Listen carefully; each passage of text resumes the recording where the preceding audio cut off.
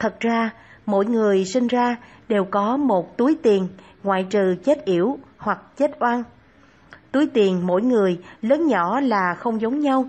Người có phúc đức lớn, túi tiền có thể mang được ngàn vạn đến trăm triệu, người phúc đức nhỏ, túi tiền chỉ chứa mười vạn, trăm vạn hoặc ít hơn. Phần lớn đều là người bình thường. Bình thường chỉ có thể mang túi tiền nhỏ đi đầu thai, đủ bình thường, ăn mặc ở đi lại, có thể ấm no là được. Cũng có một phần ít người mang theo túi tiền vừa, chính là dây tầng trung lưu như giới chuyên nghiệp, kỹ thuật, khoa học kỹ thuật, quản lý cùng với các thành phần tri thức khác. Toàn bộ xã hội, các ngành, các nghề, nhiều vô số, đều là có sinh mệnh cao cấp an bài, tiến hành đâu vào đấy, tương đương một cái giỏ, một cái hố. Người người đều từ trong số mệnh của mình mà sống, làm việc trong một giai tầng nhất định, đó là phúc phận từ kiếp trước hoặc nhiều kiếp trước của mỗi người mà tạo thành. Cái mà con người gọi là kiếm tiền, thật ra chính là hao phí tiền từ trong số mệnh của mình mà được. Lợi nhuận càng nhiều, tiền trong số mệnh mang theo càng ít. Khi tiền kiếm được vượt qua số tiền trong mệnh của người nào đó, có nghĩa rằng người này sẽ không được hưởng phần dư ra. Hơn nữa, trong đó còn liên quan đến một vấn đề, tiền mang theo từ số mệnh cùng tiền kiếm được trên thế gian là có bản chất khác nhau. Tiền mang theo từ số mệnh là một hình thức tồn tại của đức, là sinh có thể mang theo, đến chết có thể mang đi. Tùy theo nguyên thần của người đó mà đi, một khi đem nó chuyển đổi thành tiền tài trong cuộc sống này, tức là ra đi làm công kiếm tiền. Dẫu người đó có kiếm được bao nhiêu tiền đi chăng nữa, thì tiền đó liền trở thành một đống giấy, sinh không mang theo đến, chết không mang theo đi mà thôi. Như vậy, xuất hiện một vấn đề, một người trong cuộc sống cố gắng phấn đấu kiếm tiền, chẳng khác nào cố gắng đem đức quý giá trên người mình chuyển đổi thành một đống giấy phế liệu không thể dùng được ở không gian khác mà thôi, giống như dùng vàng để đổi thành đá. Mọi người cố gắng vất vả, chỗ tiền kiếm được, phần lớn chi tiêu vào việc mua biệt thự, quần áo, đồ dùng – theo công tác thống kê, một biệt thự xa hoa có 70% diện tích là để đó không dùng. Một phòng quần áo đồ dùng có 70% là không cần. Cả đời, dẫu kiếm được nhiều tiền hơn nữa, 70% là giữ lại cho người khác chi tiêu. Mà hết thảy những điều này đều phải dùng thứ quý giá nhất trong sinh mệnh của bạn. Đó là đức mà đổi lấy. Bạn cảm thấy có lợi sao? Trong xã hội hiện nay, tồn tại một loại hiện tượng phổ biến, chính là mọi người đều hướng đến tiền, đều tiếp nối nhau kiếm tiền, phát tài, hết thảy hoạt động xã hội đều vây quanh tiền. Làm như vậy, trên thực tế, chẳng khác nào vội vàng đem đức của mình tiễn đưa ra ngoài, đem đức trong sinh mệnh đổi thành tiền giấy, có thể đổi bao nhiêu, liền đổi bấy nhiêu, đổi không được nữa, đức dùng hết rồi, liền lừa gạt, cướp đoạt, có khác chi liều mạng. Đây cũng là một trong những nguyên nhân tạo ra rất nhiều người trong xã hội phải chết oan, chết uổng. Trái lại, xã hội nước ngoài, người dân không xem kiếm tiền là mục tiêu duy nhất trong cuộc sống. Thực tế là một ít quốc gia ở châu Âu, người dân càng coi trọng cuộc sống nhàn nhã, thoải mái, dễ chịu, tự do, tự tại, cuộc sống không ràng buộc, kiếm tiền chỉ là một trong những phương thức để duy trì cuộc sống. Thực sự không phải là mục đích duy nhất, đây mới là cuộc sống bình thường của con người. Tiền cũng không phải bạn muốn kiếm liền có thể kiếm được, cũng không phải bạn không muốn kiếm tiền thì tiền sẽ không đến. Người trong số mệnh có đức lớn hoặc người trong số mệnh có nhiều phúc đức không dùng, lúc được thời vận giúp đỡ, dù bạn không có ý định kiếm tiền, tiền tài kia cũng sẽ vô tình mà tự động tìm tới tận cửa nhà của bạn bạn không nhận không được. Có một số người làm lụng cả đời, chỗ kiếm được tiền vừa vẹn tương xứng với số tiền mang theo trong túi số mệnh của mình, thì chính là lúc về hưu tuổi già. Nếu bạn còn muốn làm tiếp kiếm thêm nhiều tiền hoặc về hưu rồi nhưng tiếp tục ra ngoài kiếm tiền, bạn sẽ rất nhanh phát hiện tiền bạn kiếm được sau này liền tiêu mất một cách không thể hiểu được, hoặc bị người khác dùng, hoặc lái xe gặp chuyện không may, vân vân. Đây là vì túi tiền bạn kiếm ra được đã đầy, bạn lại thêm tiền vào, tăng thêm bao nhiêu, tự nhiên sẽ rò rỉ bấy nhiêu, tương đương với làm không công. Nếu không ngộ, phải dùng tính mệnh để hoàn trả, hết thảy đều thuận theo tự nhiên là tốt nhất. Có thể nhìn ra, kiếm tiền không phải là mục đích duy nhất trong cuộc đời, cũng không phải kiếm được càng nhiều tiền càng tốt. Đủ chi tiêu trong sinh hoạt, hơi có lợi nhuận là tốt rồi. Vì sinh mệnh của mình mà tích thêm nhiều đức, đó mới là trân quý nhất, là điều duy nhất có ý nghĩa. Theo lời Phật dạy, người cư sĩ có quyền làm ra tiền bạc bằng mồ hôi, nước mắt của chính mình, nghĩa là tinh cần, siêng năng từ đôi bàn tay và khối óc để tạo dựng cuộc sống ấm no, hạnh phúc. Khi ta đã hiểu và tin sâu nhân quả rồi thì ta sẽ có cái nhìn đúng đắn hơn về tiền bạc. Chúng ta sẽ biết cách quản lý tiền bạc làm sao để cho tốt hơn mà vuông tròn cho bản thân, gia đình và xã hội. Mục đích cuối cùng của đời sống chúng ta không phải chính yếu là có nhiều tiền mà ta phải biết sử dụng đồng tiền đó ra sao. Có một điều mà chúng ta cần phải vui vẻ khi chi một số tiền đúng lúc và cần thiết để làm việc gì thật sự có lợi ích cho nhiều người. Người không gieo trồng phước đức thì thiếu trước hụt sau, đời sống gia đình khó khăn về mọi phương diện. Do đó, hay buồn rầu, lo lắng mà oán trời trách đất, đổ thừa tại bị thì là cuộc sống của chúng ta thật sự hạnh phúc khi biết kiếm tiền vừa đủ để nuôi sống bản thân và gia đình. Ngoài ra, có dư chút đỉnh, thủ hậu mai sau và làm các việc phước thiện khác. Ta không nên để tình trạng bế tắc, rơi vào nợ nần chồng chất, thiếu trước hụt sau mà phải biết cân nhắc tiết kiệm trong chi tiêu, trang trải đời sống gia đình. Hãy cố gắng tránh những việc làm phức tạp và nguy hiểm, không có phương hướng rõ ràng vì có thể giúp cho ta lên hương như diều gặp gió và tán gia bại sản một cách nhanh chóng siêng năng làm việc, tiết kiệm và đầu tư hợp lý thì khỏi phải lo thất bại ê chề trong hiện tại và mai sau. Tiền bạc nếu làm ra không chân chính thường hay bị nhà cuốn trôi, lũ lụt hỏa hoạn, trộm cướp, bị vua quan tịch thu, con cái bất hiếu phá sản. Muốn được đời sống hàng ngày vuông tròn và tốt đẹp cho có chừng mực thì trước tiên ta phải có một việc làm ổn định về lâu về dài. Không nên làm nay chỗ này, mai chỗ kia, làm như vậy suốt đời cũng không có dư, thậm chí phải mượn trước, trả sau vì lúc nào cũng thiếu nợ.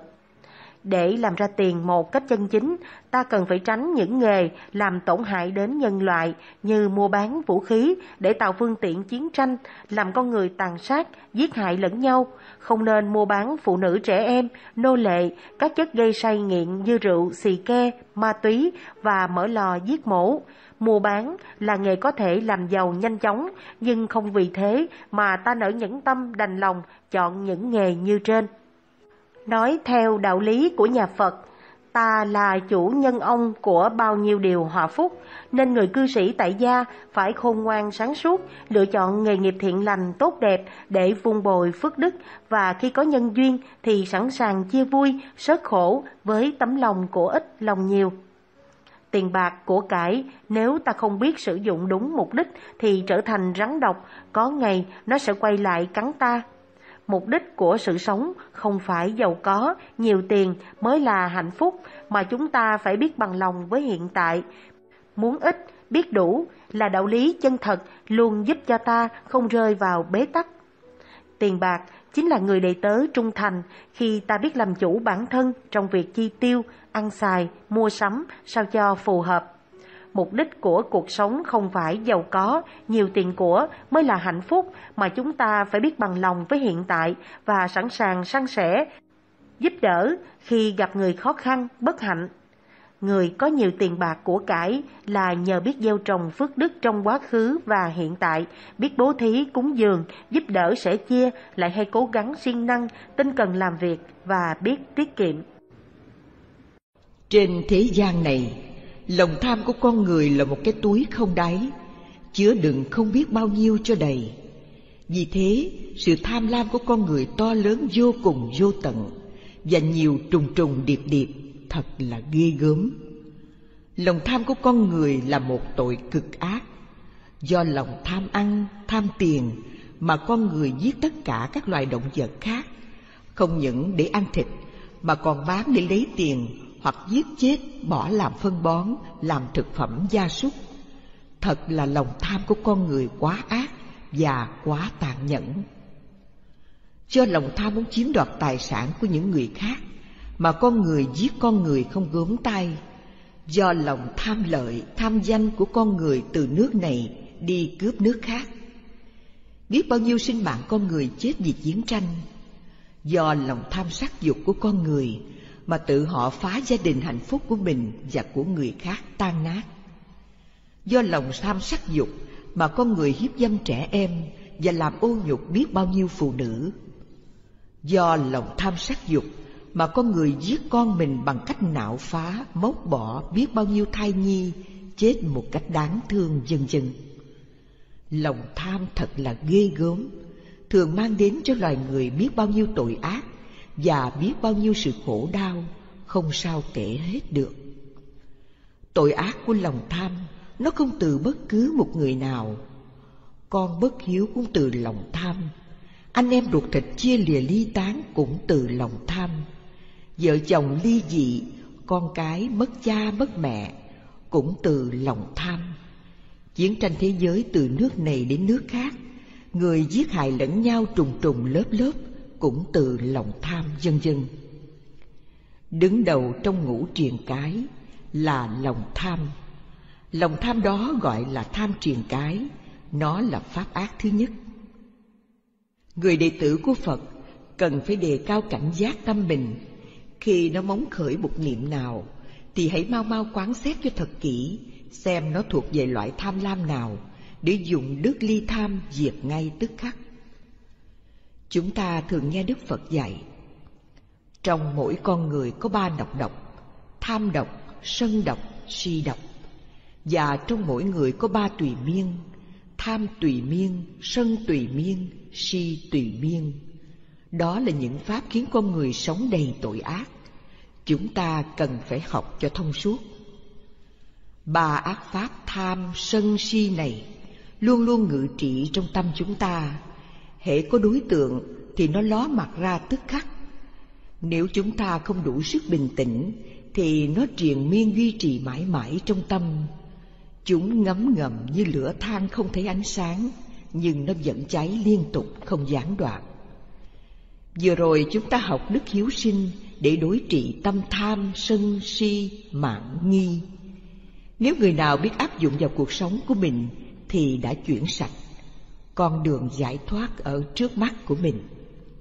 Hôm nay chúng ta học đức thứ hai. Đức thứ hai này chúng ta cần phải tu học và rèn luyện nhân cách của mình để thoát ra tam độc. Đó là đức ly tham. Người nào biết ly tham là người đó tự mang đến cho mình một tâm hồn thanh thản, an lạc và vô sự. Bởi vì con người do tâm tham mà chịu nhiều khổ đau, muốn chấm dứt khổ đau không gì hơn là phải diệt trừ tâm tham. Muốn diệt trừ tâm tham thì chỉ có sự hiểu biết các pháp vô thường, khổ, vô ngã, không có pháp nào là ta, là của ta là bản ngã của ta.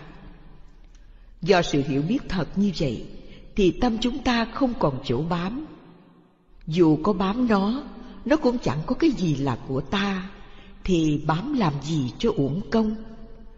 Nhờ thấu hiểu suốt rõ như vậy nên không ly tham mà nó đã tự ly tham trong cuộc sống hàng ngày nếu tâm chúng ta chỉ còn ưa thích một chút xíu điều gì như món ăn, chiếc áo, cái khăn, cây bút vân vân là chúng ta biết tâm mình còn tham lam, mà còn tâm tham lam là tâm còn đau khổ. Ở đây, Đức Phật dạy chúng ta nên sống với đức hạnh ly tham để thoát ra mọi sự khổ đau. Đó là mục đích của tập sách này. Lìa được tâm tham không phải là dễ, cho nên ngay từ những phút đầu tiên khi chúng ta học giới luật này là cần phải hiểu cho rõ ràng và áp dụng vào đời sống hàng ngày với đức ly tham không nên biến trễ. Đức ly tham từ bỏ lấy của không cho mà Đức Phật đã dạy chúng ta giới thứ hai trong ngũ giới. Cấm gian tham trộm cắp, không nên lấy của không cho. Câu đầu là một pháp luật như luật thế gian. Người tu sĩ phạm vào giới này được xem là phạm vào tội tử hình. Nhưng câu sau chỉ là một lời khuyên nhẹ nhàng. Nếu ai nghe theo lời khuyên này, sống không lấy của không cho, thì ngay đó là chúng ta sống với đức ly tham. Sống với đức ly tham sẽ được giải thoát ngay liền và hoàn toàn giải thoát ra khỏi sáu nẻo luân hồi và chấm dứt mọi sự khổ đau trong cuộc đời này. Tóm lại, lòng tham lam của con người đã đưa con người vào biển khổ. Nước mắt chúng sinh nhiều hơn nước biển. Đó là lời xác định của Đức Phật.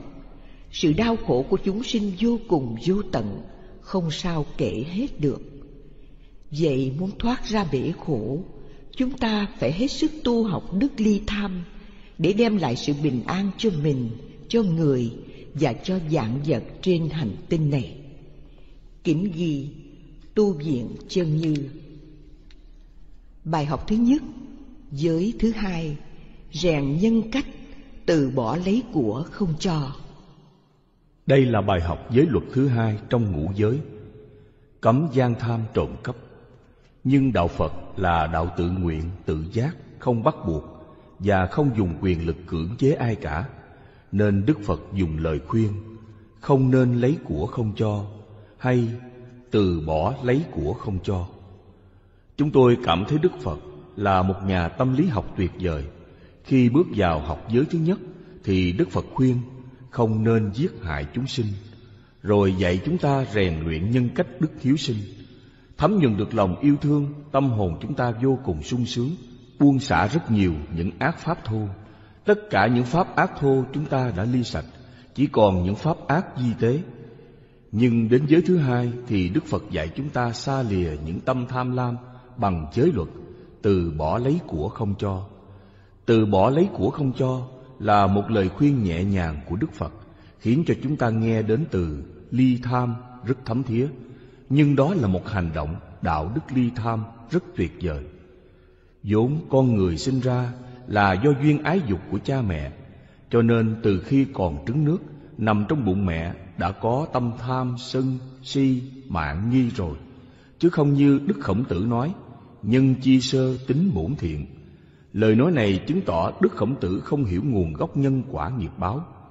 Không hiểu nguồn gốc nhân quả nghiệp báo thì không thể hiểu thế giới quan vũ trụ của Phật giáo được.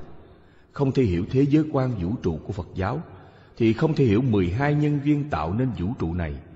Theo Phật giáo xác định rất rõ, Dạng vật được sinh ra trong vũ trụ này có nhiều hình tướng và tâm tính khác nhau là do nhân quả thiện ác nghiệp báo khác nhau chứ không phải do một đấng dạng năng hay một đấng tạo hóa hoặc một vị ngọc hoàng thượng đế nào tạo ra dạng vật tạo ra sự sống trên hành tinh này được mà chính theo quy luật nhân quả vận hành tạo ra các duyên. Khi các duyên hội đủ điều kiện tác dụng vào nhau hợp thành sinh ra dạng vật. Cho nên, dạng vật có mặt trên hành tinh này đều do 12 nhân viên hợp lại mà thành. 12 nhân viên đó gồm có một Duyên vô minh hai Duyên hành ba Duyên thức bốn Duyên danh sắc năm Duyên lục nhập. 6. Duyên xúc 7. Duyên thọ 8. Duyên ái 9. Duyên thủ mười Duyên hữu mười một Duyên sinh 12. Duyên u bi, sầu khổ, bệnh chết Một lần nữa, chúng ta khẳng định tất cả dạng vật đều sinh ra là do 12 nhân duyên này. Do 12 nhân duyên này mới tạo tác hợp lại thành dạng vật trong vũ trụ. Đất, đá, núi, sông cũng đều do 12 nhân duyên này tạo ra. Thế giới quan của Phật giáo đơn giản thiết thực cụ thể như vậy, chứ không phải trong thế giới quan có thế giới siêu hình như các nhà tôn giáo và các nhà ảo tưởng nghĩ ra cho rằng trong thế giới quan có một thế giới siêu hình, trong thế giới siêu hình có một đấng tạo hóa đang sáng tạo và sinh ra loài người và muôn loài vật. Và đấng tạo hóa đó đang cầm quyền sinh sát xử phạt muôn loài vạn vật trên hành tinh này. Chúng tôi là những người ưa chuộng sự thật, bằng những chứng minh khoa học cụ thể. Cho nên, những điều ảo tưởng diễn dông chúng tôi bỏ ngoài tai.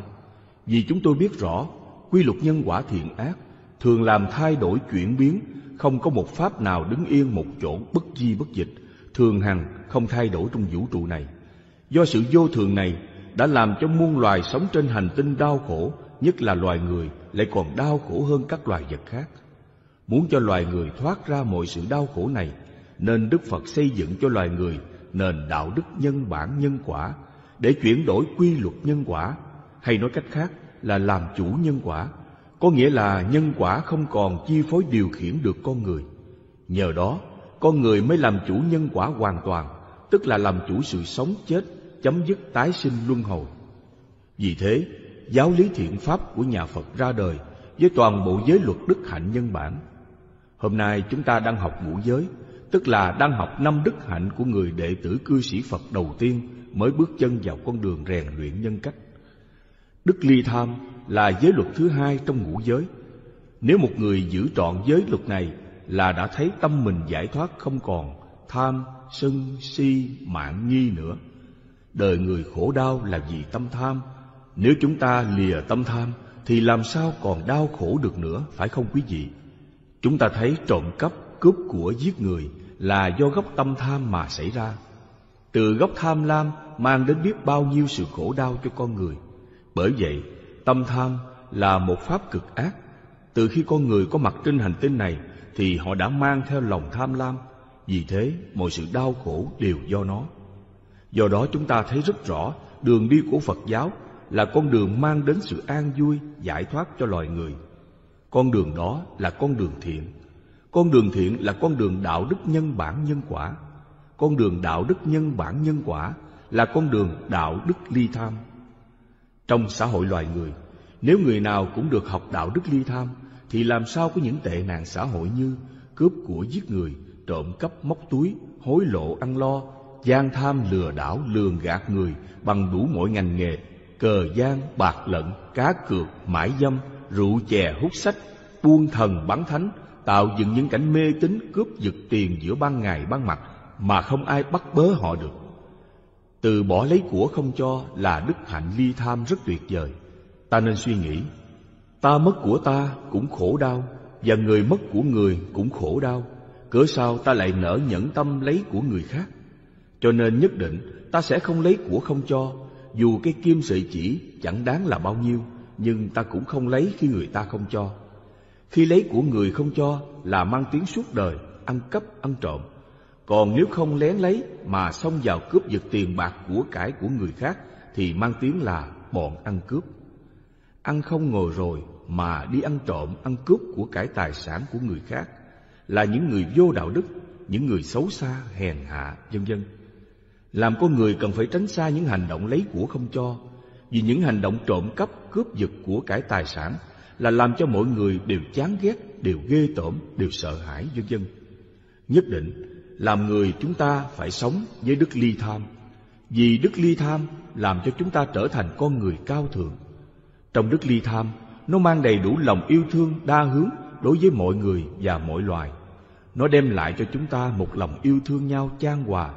Cho nên, người ly tham là người sống hạnh phúc nhất trần gian. Tại sao vậy? Tại vì đức ly tham giúp chúng ta không còn dính mắc các pháp trên thế gian này. Khi đức ly tham ngự trị trong tâm chúng ta, thì các pháp trên thế gian này không còn pháp nào đủ sức cám dỗ, lôi cuốn chúng ta được. Cho nên khi chúng ta nhận xét tâm mình còn ham thích điều gì, thì chúng ta biết ngay đức ly tham sẽ không còn trong tâm nữa. Vì vậy chúng ta phải tác ý ngay. Tâm không được ham thích, phải chấm dứt ngay liền. Nhờ có tác ý như vậy thì đức ly tham mới trở lại trong tâm ta. Cho nên, người tu tập phải siêng năng, khi thấy một niệm móng khởi ưa thích thì chúng ta phải mau mau tác ý dừng lại. Có siêng năng tu tập như vậy thì chúng ta mới sống trọn vẹn với đức ly tham. Một người tu theo Phật giáo mà lười biếng thì không thể nào thành tựu sự giải thoát. Thành tựu giải thoát của Phật giáo là phải siêng năng hàng ngày diệt trừ lòng tham, sống với đức ly tham và đức hiếu sinh. Bài học thứ hai rèn nhân cách đạo đức ly tham, ý hành, khẩu hành, thân hành. Con trai đuổi mẹ để giành nhà. Ngày giáp Tết, đứng trước bàn thờ tạm bợ của người chồng, bà Nguyễn Thị Hợi 75 tuổi, không giấu được những giọt nước mắt nghẹn ngào chua xót. Bởi lẽ đứa con trai mà bà hết lòng thương yêu tin tưởng đã nhẫn tâm với bà. Tôi chết lặng khi nó làm đơn trục xuất tôi và em nó ra khỏi nhà. Bà thì thào qua dòng nước mắt tuôn trào. Năm 1954, ông Nguyễn Văn Thành kết hôn với bà Nguyễn Thị Hợi. Trong quá trình chung sống, họ đã có với nhau bảy người con. Theo lời bà Hợi, để có tiền chi tiêu trong gia đình, ông Thành đã mở cơ sở giày dép tại 597H Lô Tê, Đoàn Giang Bơ, quận Tư. Sau đó chuyển về địa chỉ 98 trên 55 Đoàn Giang Bơ. Các con của ông Thành một số làm công ăn lương tại cơ sở, một số đi làm ở ngoài. Riêng ông Nguyễn Sơn Hà, con trai thứ, là người có công nhiều nhất cho cơ sở giày dép. Năm 1985, ông Hà trúng số được một lượng vàng, cũng tích góp vào xưởng để kinh doanh. Năm 1998, ông Thành qua đời. Ông Hà tiếp quản cơ sở giày dép và làm thủ tục chuyển tên đăng ký kinh doanh cho mình. Năm 1999 sau khi ông Thành mất, bà Hợi đã đưa một số tiền lớn mà gia đình đã làm đụng vất vả nhiều năm cho ông Hà để xây căn nhà số 73 trên 8C, đường Lâm Văn Bền, quận 7. Rồi ông Hà tiếp tục dùng tiền thu được từ hoạt động kinh doanh để mua thêm vài lô đất nữa. Ông Hà lặng lẽ đứng tên những lô đất và quyền sở hữu nhà, rồi lật ngược thế cờ, đuổi cả mẹ và đứa em trai ra khỏi nhà.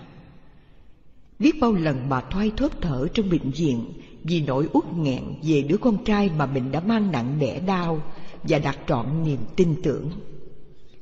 Rời khỏi căn nhà mà đứa con trai đang tâm đuổi mình, bà Hợi chẳng kịp mang theo gì cả. Cái bàn thờ của ông chồng bà vẫn còn nằm nguyên ở đó vì ông Hà đã thay khóa mới. Không thể chấp nhận hành vi của ông Hà, bà Hợi đã cùng một số người con trong gia đình gửi đơn yêu cầu tòa án đưa vụ tranh chấp tài sản ra xét xử. Ngày 28 tháng 6 năm 2006, Tòa Phúc Thẩm, Tòa án Nhân dân tối cao thành phố Hồ Chí Minh đã tuyên xử. Chấp nhận một phần yêu cầu của bà Hợi, buộc ông Nguyễn Sơn Hà và bà Phạm Thị Thanh Dân, vợ ông Hà, phải thanh toán cho bà Hợi 11,45 lượng vàng SDC và 130 triệu 909 ngàn đồng. Còn tất cả những yêu cầu khác của bà Hợi muốn lấy lại quyền sở hữu nhà và một số lô đất mà theo bà Hợi đó là một số tài sản chung của gia đình đều bị tòa án bác bỏ. Bởi lẽ ông Nguyễn Sơn Hà đã chứng minh tất cả tài sản đó là của riêng mình bằng những giấy chứng nhận quyền sử dụng, quyền sở hữu hợp pháp. Trước tòa, ông Hà đã khẳng định cơ sở giày dép là toàn bộ tài sản của riêng ông. Sau khi cha mất, vợ chồng ông Hà đã nhờ bà Hợi giữ tiền dùm, nên toàn bộ tiền mua đất, xây dựng nhà là tiền của vợ chồng ông không liên quan đến bà Hợi. Trong phiên tòa hôm ấy, nhiều người con đã nghẹn ngào nhắc lại lời bố dặn trước lúc lâm chung. Bố chết đi, chỉ mong các con luôn luôn thuận hòa, đừng chia lìa nhau, đừng để gia đình lâm vào cảnh tan đàn xẻ nghé. Bà Hợi cùng một vài người con phải ôm tập hồ sơ đi kêu cứu nhiều nơi, khiếu nại ông Hà. Tập thể bà con khu phố ở phường Tân Thuận Tây, quận 7 đã gửi đơn lên Tòa án Nhân dân quận 7, đồng kính xin tòa án xét xử đem lại sự công bằng cho bà Hợi, vì ông Hà đã lợi dụng sự dễ dãi của mẹ mình để chiếm đoạt tài sản. Thế nhưng ông Hà đã thắng kiện vì có đầy đủ giấy tờ trong tay. Nhiều năm nay, bà Hợi sống dở chết dở vì nỗi đau mà ông Hà gây ra. Hôm tòa mở phiên xét xử, bà Hợi đã xin phép được vắng mặt vì chịu làm sao nổi cú sốc đó. Đến tòa chắc tôi chết mất. Tòa tuyên xử bà Hợi được chia một trên mười một trong số tài sản ông Hà đang nắm giữ. Nhưng tám tháng đã trôi qua, bà Hợi vẫn chưa nhận được số tiền mà ông Hà và bà Dân phải thanh toán. Bà Hợi đã hai lần gửi đơn yêu cầu thi hành án, nhưng tất cả chỉ rơi vào im lặng. Bà Hợi đã làm đơn khởi kiện vụ tranh chấp tài sản giữa bà và ông Hà lên tòa án quận 7. Trong quá trình thụ lý vụ án hơn một năm, ông Hà vẫn được cấp chủ quyền nhà khi ngôi nhà đang thuộc diện tranh chấp. Ngày ngày bà Hợi vẫn ngồi thẫn thờ trong ngôi nhà của người anh cả. Nỗi đau âm ỉ dằn xé tâm can bà lại khóc, lại nhập viện. Bà Hợi biết rằng ông Hà không chịu thi hành án chỉ vì nó đợi tôi chết để số tiền đó nó không phải hoàn trả lại cho tôi. Chẳng lẽ các cơ quan chức năng và tòa án các cấp có thể làm ngơ với nỗi đau của bà Hợi? Mỹ Thanh Hoàng Tuyết, Báo Công an, số 1522, thứ năm 1 tháng 3 năm 2007. Những câu hỏi một Ngày giáp Tết, đứng trước bàn thờ tạm bỡ của người chồng, bà Nguyễn Thị Hợi 75 tuổi, không giấu được những giọt nước mắt nghẹn ngào chua xót bởi lẽ đứa con trai mà bà hết lòng thương yêu tin tưởng đã nhẫn tâm với bà. Tôi chết lặng khi nó làm đơn trục xuất tôi và em nó ra khỏi nhà. Bà thì thào qua dòng nước mắt tuôn trào. Đoạn này nói lên thiếu đạo đức gì? Hai, năm 1954, ông Nguyễn Văn Thành kết hôn với bà Nguyễn Thị Hợi. Trong quá trình chung sống, họ đã có với nhau bảy người con. Theo lời bà Hợi, để có tiền chi tiêu trong gia đình, ông Thành đã mở cơ sở giày dép tại 597H Lô Tê, đoàn Giang Bơ, quận 4. Sau đó chuyển về địa chỉ 98 trên 55 đoàn Giang Bơ. Các con của ông Thành một số làm công ăn lương tại cơ sở, một số đi làm ở ngoài. Riêng ông Nguyễn Sơn Hà, con trai thứ, là người có công nhiều nhất cho cơ sở giày dép. Năm 1985, ông Hà trúng số được một lượng vàng, cũng tích góp vào xưởng để kinh doanh. Năm 1998, ông Thành qua đời. Ông Hà tiếp quản cơ sở giày dép và làm thủ tục chuyển tên đăng ký kinh doanh cho mình. Vào năm 1999, sau khi ông Thành mất, bà Hợi đã đưa một số tiền lớn mà gia đình đã làm lụng vất vả nhiều năm cho ông Hà để xây căn nhà số 73 trên 8C, đường Lâm Giang Bền, quận 7.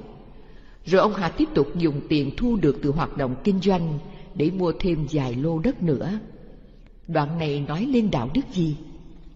Ba, ông Hà lặng lẽ đứng tên những lô đất và quyền sở hữu nhà, rồi lật ngược thế cờ, đuổi cả mẹ và đứa em trai ra khỏi nhà. Đoạn này nói lên đạo đức gì? Bốn, biết bao lần mà thoai thóp thở trong bệnh viện vì nỗi uất nghẹn vì đứa con trai mà mình đã mang nặng đẻ đau và đặt trọn niềm tin tưởng. Rời khỏi căn nhà mà đứa con trai đã đang tâm đuổi mình, bà Hợi chẳng kịp mang theo gì cả. Cái bàn thờ của ông chồng bà vẫn còn nằm nguyên ở đó vì ông Hà đã thay khóa mới.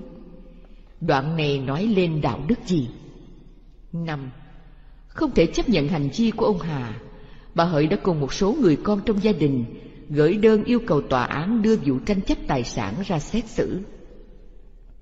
Ngày 28 tháng 6 năm 2006, Tòa Phúc Thẩm Tòa án Nhân dân tối cao thành phố Hồ Chí Minh đã tuyên xử chấp nhận một phần yêu cầu của bà Hợi buộc ông Nguyễn Sơn Hà và bà Phạm Thị Thanh Dân, vợ ông Hà, phải thanh toán cho bà Hợi 11,45 lượng vàng SJC và 130 triệu 909 ngàn đồng.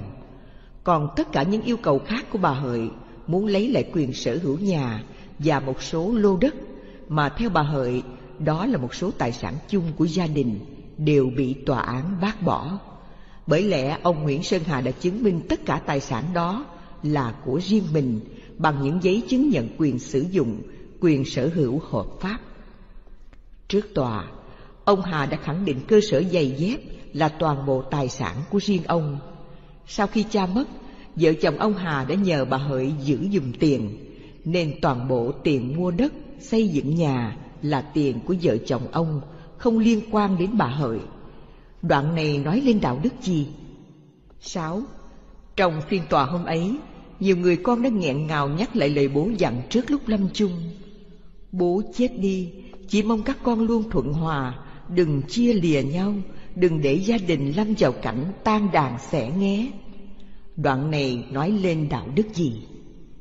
Bảy, Bà Hợi cùng một vài người con phải ôm tập hồ sơ đi kêu cứu nhiều nơi, khiếu nại ông Hà. Tập thể bà con khu phố ở phường Tân Thuận Tây, quận 7 đã gửi đơn lên Tòa án Nhân dân quận 7, đồng kính xin tòa án xét xử, đem lại sự công bằng cho bà Hợi, vì ông Hà đã lợi dụng sự dễ dãi của mẹ mình để chiếm đoạt tài sản.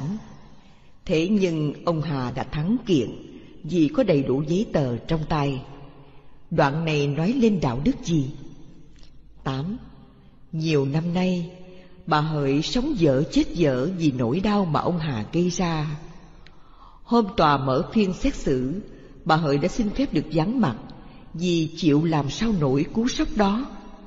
Đến tòa chắc tôi chết mất. Đoạn này nói lên đạo đức gì? 9. tòa tiên xử bà Hợi được chia một trên mười một phần trong số tài sản mà ông Hà đang nắm giữ.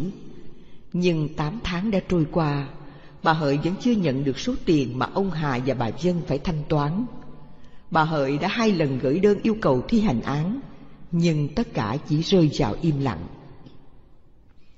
Bà Hợi đã làm đơn khởi kiện vụ tranh chấp tài sản giữa bà và ông Hà lên tòa án quận 7. Trong quá trình thụ lý vụ án hơn một năm, ông Hà vẫn được cấp chủ quyền nhà khi ngôi nhà đang thuộc diện tranh chấp. Đoạn này nói lên đạo đức gì? 10. Ngày ngày, bà Hợi vẫn ngồi thẫn thờ trong ngôi nhà của người anh cả. Nỗi đau âm ỉ dằn xé tâm can, bà lại khóc, lại nhập viện. Bà Hợi biết rằng ông Hà không chịu thi hành án chỉ vì nó đợi tôi chết để số tiền đó nó không phải hoàn trả lại cho tôi. Chẳng lẽ các cơ quan chức năng và tòa án các cấp có thể làm ngơ với nỗi đau của bà Hợi? Đoạn này nói lên đạo đức gì? Trả lời những câu hỏi Một, ngày giáp Tết Đứng trước bàn thờ tạp bờ của người chồng Bà Nguyễn Thị Hợi 75 tuổi Không giấu được những giọt nước mắt nghẹn ngào chua xót Bởi lẽ đứa con trai mà bà hết lòng thương yêu tin tưởng Đã nhận tâm với bà Tôi chết lặng khi nó làm đơn trục xuất tôi và em nó ra khỏi nhà Bà thì thào qua dòng nước mắt tuôn trào. Đoạn này nói lên thiếu đức ly tham hiếu thảo thân hành. Câu chuyện trên đây là một sự thật mà báo chí đã đăng tin tức này. Trong xã hội hiện nay, những chuyện bất hiếu này thường xảy ra như ăn cơm bữa. Đúng vậy, lòng tham của con người không đáy Nó biến con người trở thành vô đạo đức. Quên cả công ơn sinh thành dưỡng dục của mẹ cha vì lòng tham nhà cửa, đất đai, của cải, tài sản mà đành lòng đuổi mẹ ra khỏi nhà, thật là bất hiếu. Nỗi đau của người mẹ bị con trai mình trục xuất ra khỏi nhà thì không có nỗi đau nào hơn, phải không quý vị? Đây, các tu sinh đọc qua câu chuyện này mới thấy rõ lòng tham của con người thật là ghê gớm. Khi lòng tham ngự trị trong tâm hồn của họ, thì họ quên hết ơn nghĩa dù là công ơn sinh thành mang nặng đẻ đau nuôi dạy con lớn khôn như trời như biển. Công cha như núi thái sơn nghĩa mẹ như nước trong nguồn chảy ra. Thế mà họ đâu còn nhớ gì khi lòng tham ngự trị trong lòng thì họ đều quên hết. Câu chuyện trên đây là một bằng chứng cụ thể để thấy lòng tham của con người ghê gớm thật và xã hội chúng ta đạo đức đang xuống cấp trầm trọng Nhìn thấy cảnh này, chúng ta là những người con của Phật thì phải theo lời dạy của người. Lúc nào hay giờ nào, chúng ta đều sống với đức ly tham. Đức ly tham sẽ giúp chúng ta có một tâm hồn biết buông xả, không đắm mê vật chất của cải tài sản. Vì càng lắm nhiều của cải tài sản, thì càng lắm nhiều gian nan và nhiều tai họa khổ đau sẽ đến với chúng ta. Đức ly tham là một đức hạnh tuyệt vời. Chúng ta nên xem xét lại đời sống của Đức Phật ngày xưa.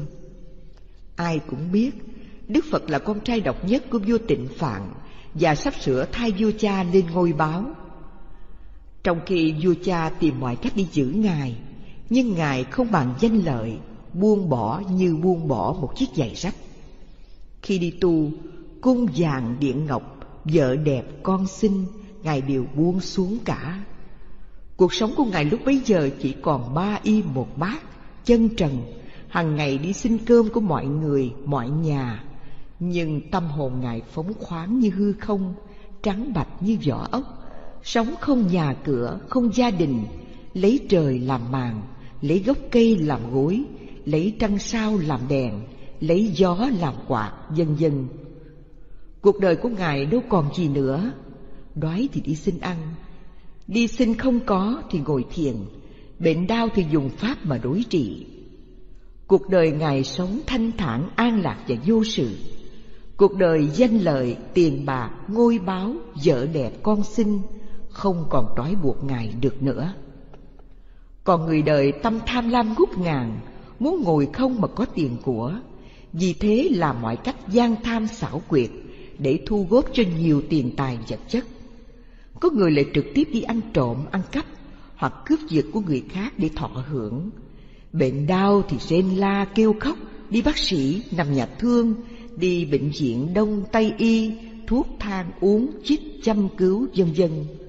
Còn Đức Phật thì tự tại, thung dung, đói no chẳng sợ, bệnh tật không làm dao động được tâm Ngài.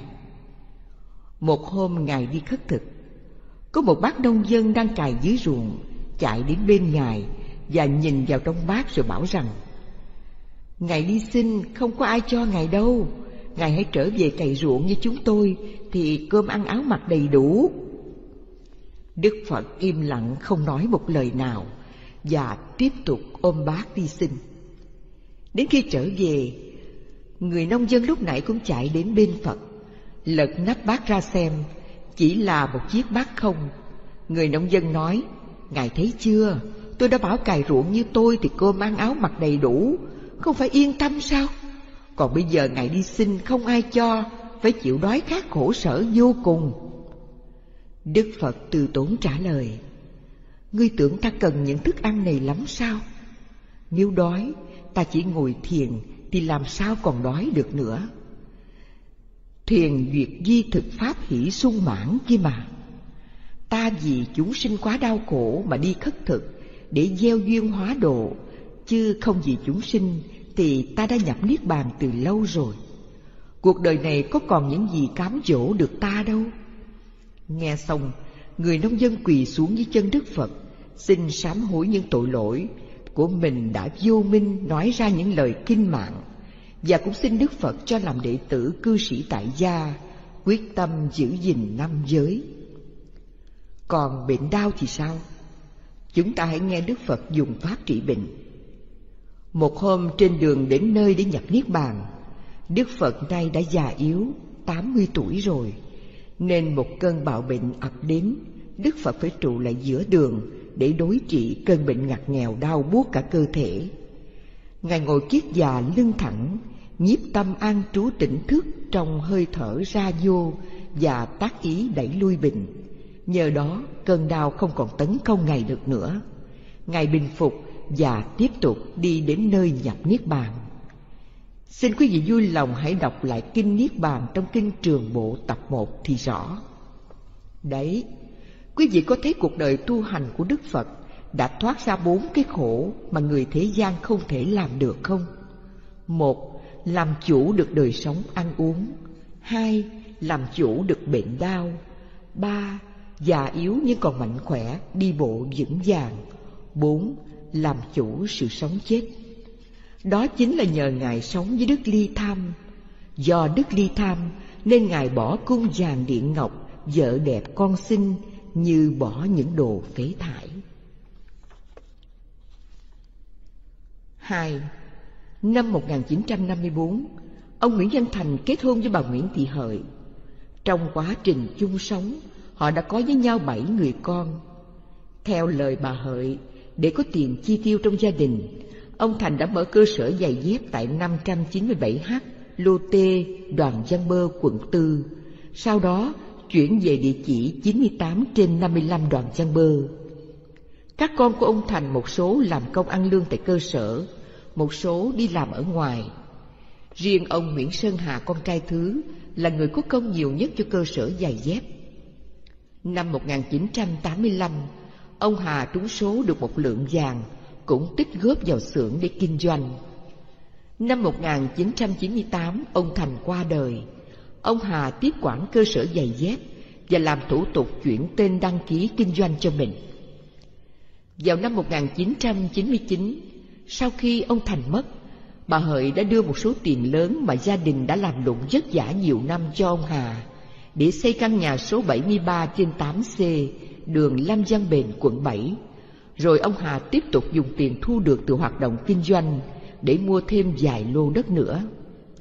Đoạn này nói lên đức tin tấn nhân quả.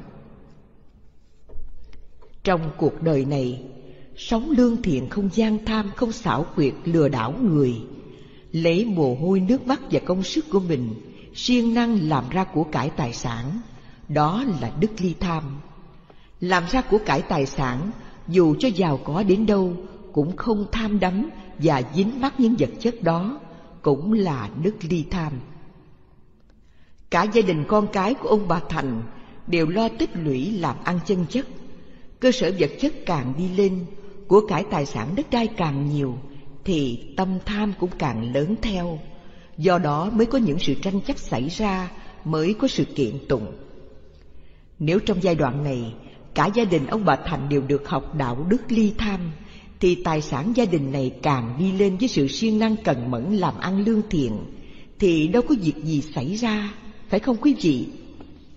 Đồng tiền và của cải tài sản làm mờ mắt, khơi dậy lòng tham chiếm hữu làm của riêng mình, cho nên nó đã giết chết đạo đức hiếu thảo làm người. Ông Hà cũng chỉ là một con người như bao nhiêu con người khác, biết chí thú làm ăn để làm giàu. Nhưng chính vì tham nhà cửa, đất đai, vật chất, nên công ơn sinh thành của cha mẹ đã quên mất, tình nghĩa anh em ruột thịt như nước lã người dân.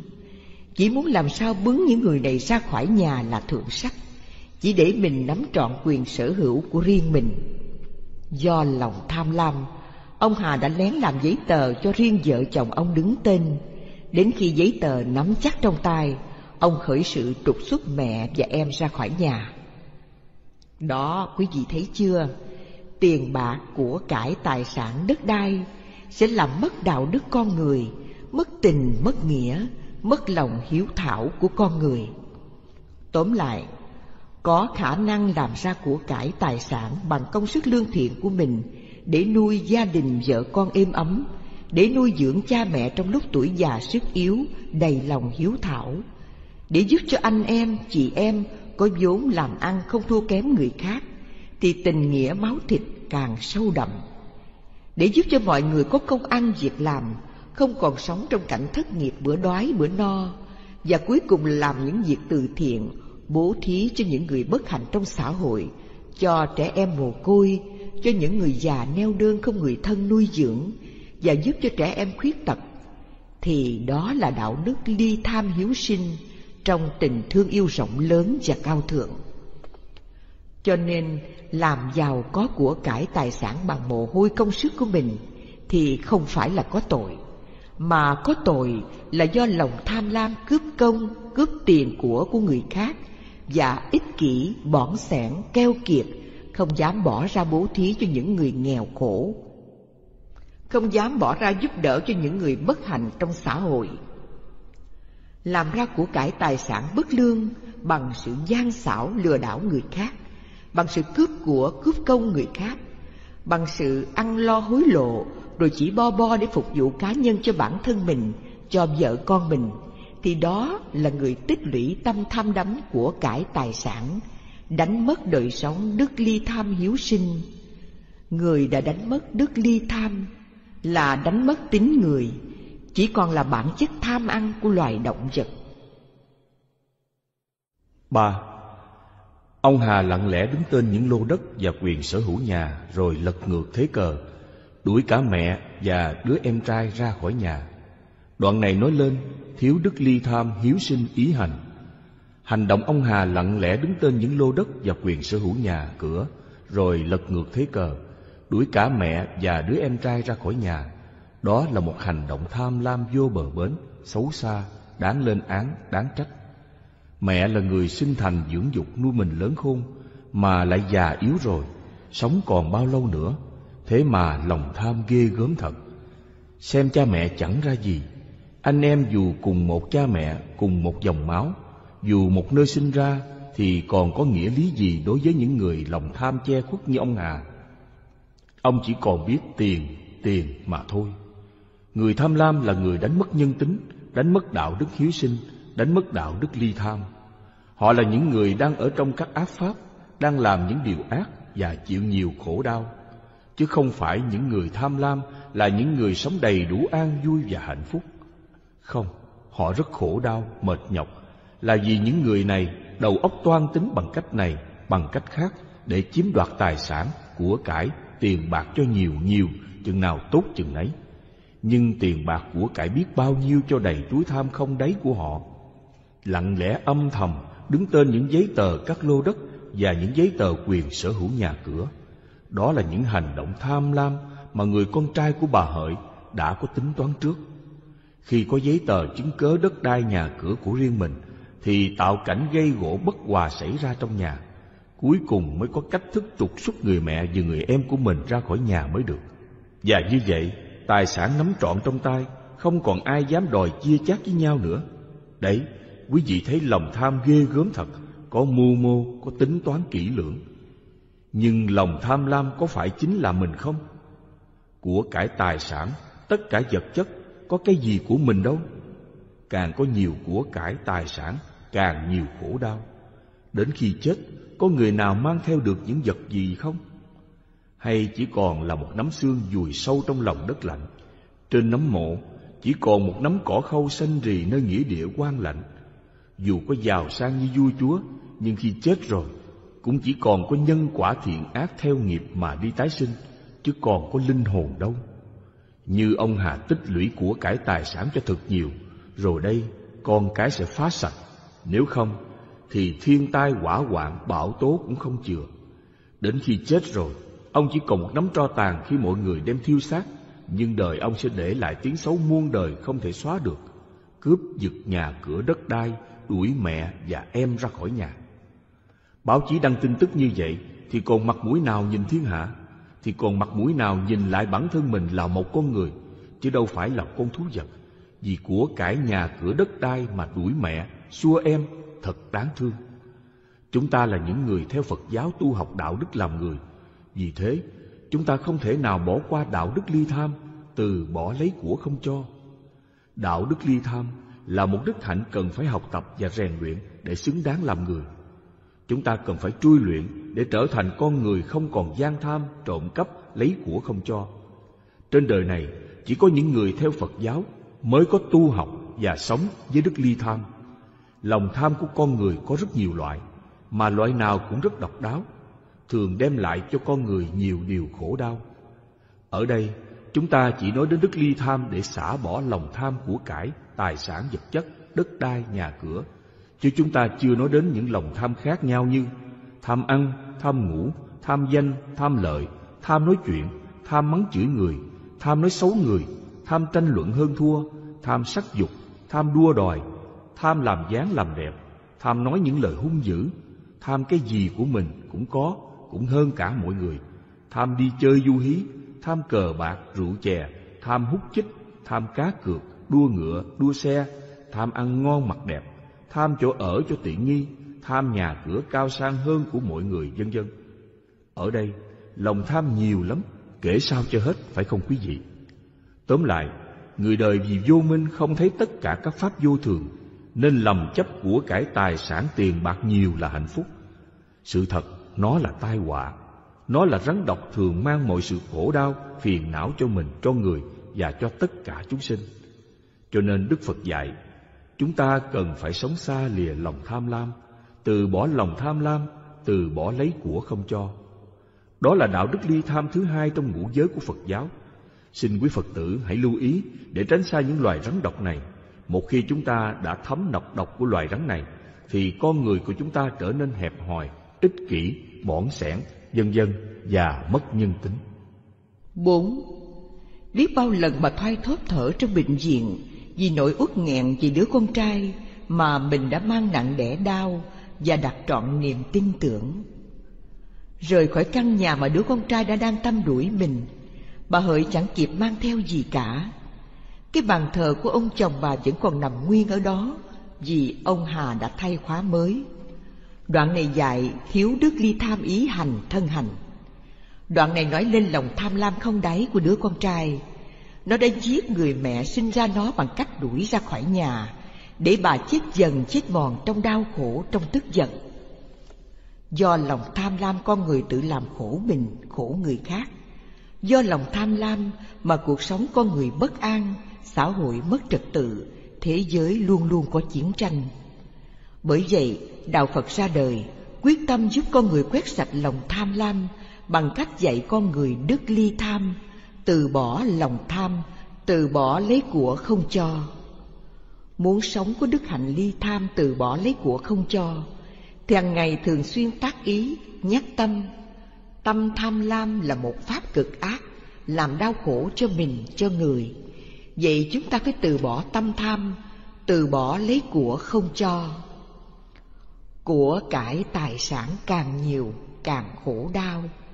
Chỉ có đức ly Tha mới đem lại hạnh phúc cho mình, cho người.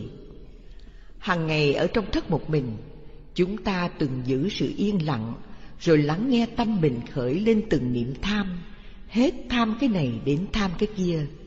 Hiện giờ tâm phàm phu của chúng ta chưa ly dục ly ác pháp, nên nó luôn luôn còn đủ tham, sân, si, mạng, nghi. Nếu tâm chúng ta sống với đức hiếu sinh, thì lòng yêu thương rộng lớn của chúng ta sẽ dẹp trừ sạch tâm tham, sân, si, mạng, nghi. Nhưng vì lòng yêu thương của chúng ta chưa trọn vẹn, vì thế chúng ta mới còn tâm tham, sân, si, mạng, nghi. Tuy nhiên chúng ta rất cố gắng sống với đức hiếu sinh, nhưng nó chưa trở thành chúng ta, và chúng ta chưa trở thành đức hiếu sinh. Vì thế, tâm tham sân si mạng nghi còn xen vào được. Nếu chúng ta đã thành tựu được đức hiếu sinh, thì chúng ta đã chứng quả A-la-hán xong rồi. Vì khi đức hiếu sinh ngự trị trong tâm, thì không có một ác pháp nào tác động tâm chúng ta được nữa. Còn hiện giờ, đức hiếu sinh có lúc hiện, có lúc ẩn, cho nên chúng ta sống với đức hiếu sinh chưa trọn vẹn. Vì thế, chúng ta lại tu học bồi dưỡng thêm một đức hạnh nữa, đó là đức ly tham. Nếu hàng ngày, hàng giờ, chúng ta luôn luôn áp dụng đức ly tham vào cuộc sống của chúng ta, thì các ác pháp không làm động tâm chúng ta được nữa. Hôm nay, chúng ta lại có thêm một đức hạnh nữa, đó là đức ly tham. Trước kia chúng ta chỉ có một đức hiếu sinh, vậy mà tâm tham, sân, si, mạng nghi còn không đất ở. Hôm nay chúng ta lại có thêm một đức ly tham nữa, thì tâm tham, sân, si, mạn nghi sẽ bị triệt tiêu một cách dễ dàng. Vì tâm tham, sân, si, mạn nghi đụng bất cứ chỗ nào trong chúng ta, thì chúng đều gặp hai đức hạnh này sẽ bủa dây đánh rốt ráo. Do đó, tâm tham không dám ló đầu ra chỗ nào nữa cả. Ví dụ, khi thân tâm lừ đừ muốn đi ngủ, thì tâm đi tham biết ngay. Mày còn tham ngủ à? Mày còn tham ngủ à? Mày còn tham ngủ à? Mày còn tham ngủ à? Mày còn tham ngủ à? Mày còn tham ngủ à? Mày còn tham... Vì sao hài nhi khóc? Đầu xuân năm đọ, Tiết Nhan là nhà láng giềng đột nhiên gọi điện cho tôi nhờ trợ giúp, kể rằng anh đến chúc Tết nhà của sếp, gặp lúc hai vợ chồng họ bối rối khốn khổ, nhìn đứa con mới sinh được hơn một tháng tuổi, khóc thét không ngừng suốt hai ngày nay. Do các bệnh viện không tìm ra nguyên nhân vì sao bé khóc, nên lòng họ cứ nóng như lửa đốt. Tiết Nhan thấy tình cảnh này, vừa gọi điện cho tôi cầu cứu. Tôi cũng nghe rõ tiếng đứa bé đang khóc rất dữ, bèn chuyển điện thoại đến cho sư phụ. Sư phụ bảo Tiết Nhan trao điện thoại cho mẹ bé, rồi nói Nhà các người có phải rất ưa ăn hải sản, tôm cua cá không? Họ đáp Dạ phải, dân ở Đài Loan á thường ăn các thứ này nè, mà chúng tôi cũng vậy nữa. Sư phụ bảo Nếu bây giờ hai vị phát tâm không ăn hải sản nữa và chịu niệm Phật siêu độ cho những con vật đã ăn qua, thì con các vị sẽ lập tức ngưng khóc ngay. Họ không hiểu, chất vấn.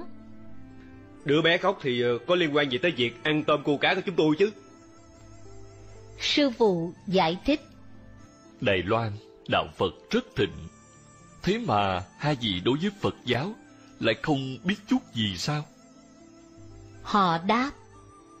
Chúng tôi là ngoại đạo, theo tín ngưỡng thờ lão gia của Đài Loan, mà đạo này không cấm ăn các thứ hải sản tươi sống. Sư phụ nói. Thần thức các loài thủy tộc mà hai vị đã ăn qua, đang ôm hận và trực sẵn chờ đợi thời cơ báo thù.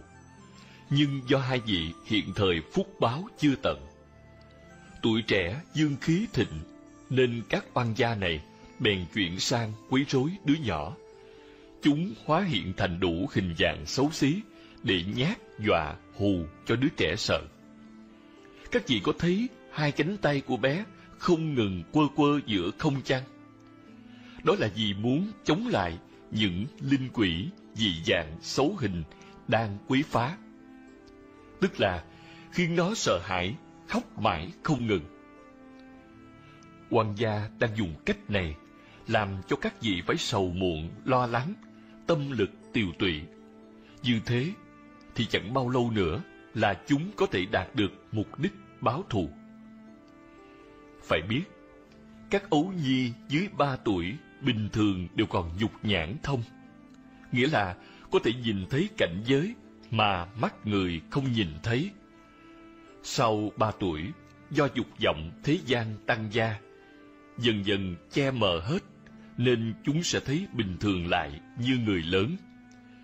Nếu muốn quan gia không quấy nhiễu hù dọa đứa bé nữa, thì ngay bây giờ hai vợ chồng phải lập tức phát thệ không ăn hải sản nữa. Hai vị cần tuyên bố như vậy. Rồi sau đó, phải vì những con vật mình từng ăn qua, niệm thánh hiệu Nam Mô A Di Đà Phật để siêu độ chúng. Làm được vậy, thì cháu bé sẽ ngưng khóc ngay. Ta biết hai vị không tin, nhưng lẽ nào không muốn thử nghiệm xem sao ư? Đối phương do dự một lúc, bất đắc dĩ đành phải phát lời thề nguyện. Chúng tôi từ nay về sau không ăn hải sản nữa. Sau đó, sư phụ dạy họ niệm thánh hiệu Nam Mô A Di Đà Phật. Họ chỉ lặp lại mới vài câu thì tiếng khóc đứa bé nhỏ dần rồi từ từ dứt hẳn. Điều này khiến cho ông chủ Đài Loan cảm thấy bất ngờ và bị chấn động, cất tiếng cảm tạ sư phụ. Vợ ông cũng bật khóc, nói cảm ơn lia lịa như người mái. Sư phụ bảo họ. Hiện giờ đứa bé đã ngừng khóc. Bắt đầu từ hôm nay trở đi, hàng ngày các vị phải vì những con vật bình ăn qua, siêng năng niệm Phật, siêu độ chúng. Chưa hết. Từ đây về sau, còn phải phóng sinh cho nhiều để giúp tiêu nghiệp cũ, nên dính chút thời gian đến thiền viện Đại Bi, thỉnh một số kinh sách về đọc. Hai vợ chồng đều hứa nhất định họ sẽ làm theo và siêng năng lễ tụng. Hai ngày sau, Tiết Nhan cùng hai vợ chồng họ đi đến tìm Hòa Thượng Diệu Pháp lễ tạ, nhưng sư phụ đã ra đi từ tối hôm qua. Tôi bảo họ hãy đem lễ vật cúng dường thiền viện Đại Bi.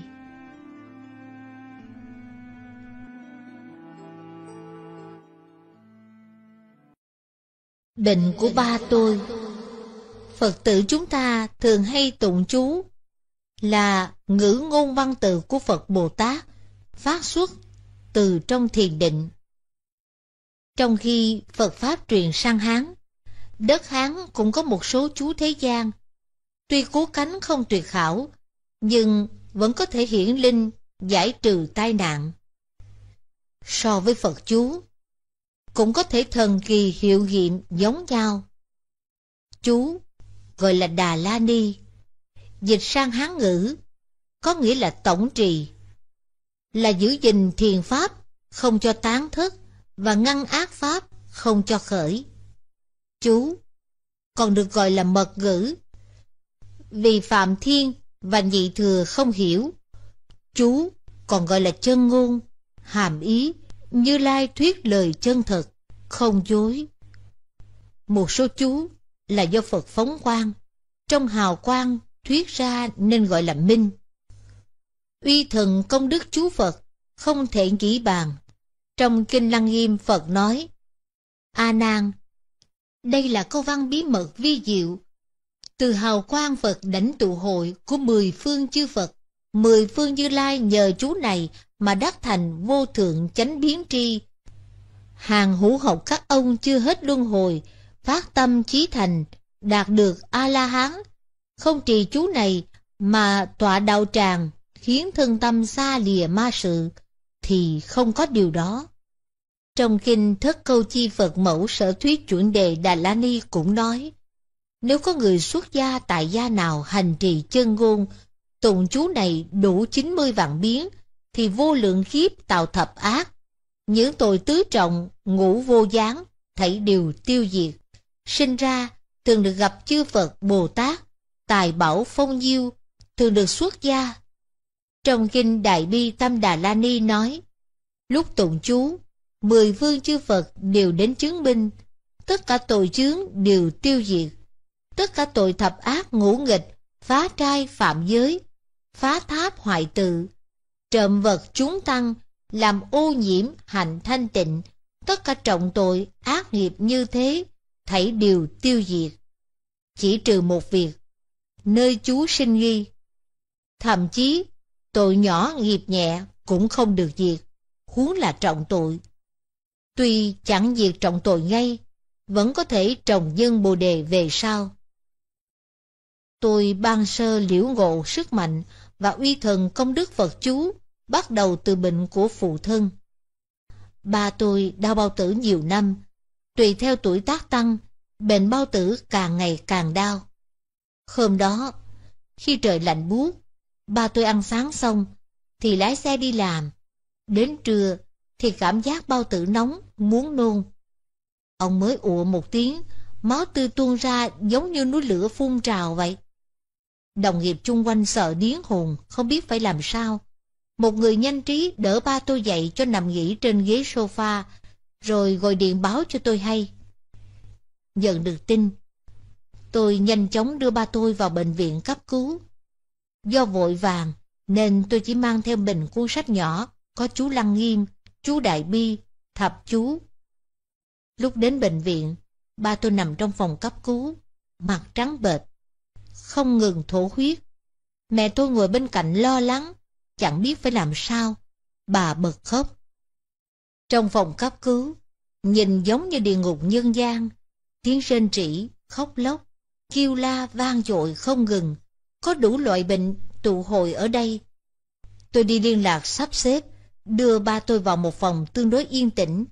Bác sĩ đến kiểm tra phòng nói. Người này thổ huyết quá nhiều. Nếu như không khống chế được á, thì hậu quả xấu khó lường. Tối nay á, thân nhân nhớ chú ý quan sát. Hệ thấy thổ huyết nữa, thì phải lập tức cho truyền máu. Nghe bác sĩ nói, khó khăn lắm, ba tôi mới đưa được tay lên khoát khoát, tỏ ý ông không muốn truyền máu. Tôi vội trả lời bác sĩ. Dạ dạ, chúng tôi sẽ theo dõi, có gì thì sẽ liên lạc với bác sĩ liền. Đêm đó, tôi không sao chợp mắt được, vì rất lo cho bệnh của ba tôi. Tôi đem hết lòng thành, cầm cuốn sách chú lên, bắt đầu tụng. Nói ra xấu hổ, đây là lần đầu tiên tôi tụng chú một mình. Trước đây, chỉ nghe tụng chú trên đĩa. Cho dù có lúc phát âm không chuẩn, nhưng tôi tin thành tâm, ắt có cảm ứng. Phật lực nhất định sẽ gia hộ cho ba. Tôi cũng không biết mình đã tụng bao nhiêu biến. Tôi cứ đọc mãi, đọc mãi, cho đến khi tôi và ba của tôi cảm thấy toàn thân ấm áp thư thái, bầu không khí an lành bao phủ khắp phòng. Sáng hôm sau, ba tôi phải làm kiểm tra bao tử.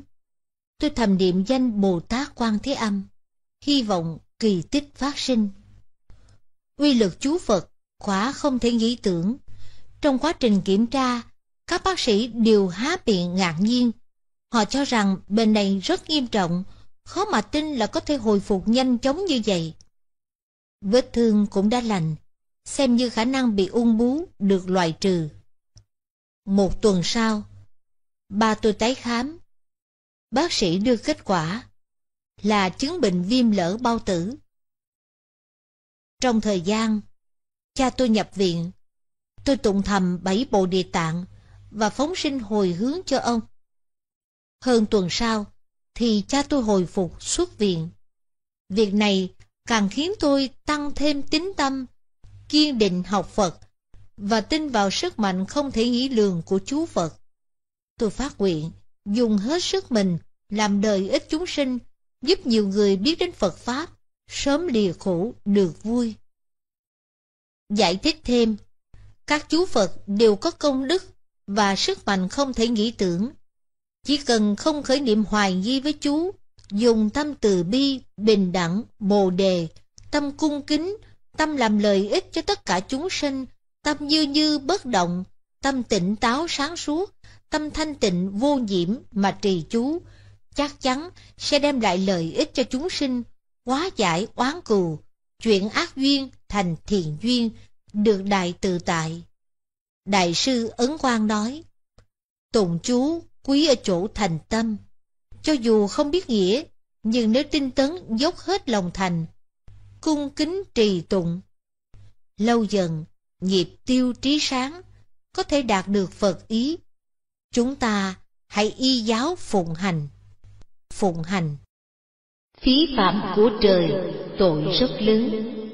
Một ký giả tờ báo X nhiều lần nghe sư phụ giảng pháp, chỉ rõ nguyên nhân bệnh cho những người bệnh đến cầu khai thị. Một hôm, cô hỏi sư phụ. Con bị bao tử nhiều năm, đã chữa trị mà không có thấy kết quả. Có phải do đời trước con làm điều gì xấu không? Sư phụ hỏi. Phải chăng cô không ưa ăn da bánh bao? Nên mỗi lần ăn đều xé lột lớp da bánh bỏ đi. Ký giả kinh ngạc nói. Trời ơi, sư phụ, đúng là có việc này. Từ nhỏ, con đã không thích ăn da bánh bao, vậy mà cũng có tội sao? Sư phụ cười nói. Phải biết, phí phạm là tội rất lớn. Lương thực và thức ăn trong thế giới này có sứ mệnh để cho người dùng no bụng. Nhưng con gì không ưa, thấy không hợp khẩu vị, nên bỏ nó. Như vậy rất lãng phí. Phải biết, trên thế giới hiện nay, còn rất nhiều người không có ăn và bị chết đói. Còn phải cảm thấy xấu hổ vì điều này. Lại nữa, quốc gia nào cũng đều có người bươi bãi rác kiếm ăn. Ngay cả các nước đang phát triển cũng không ngoại lệ. Những người đói kém này đều do đời trước đã lãng phí lương thực, chà đạp thức ăn.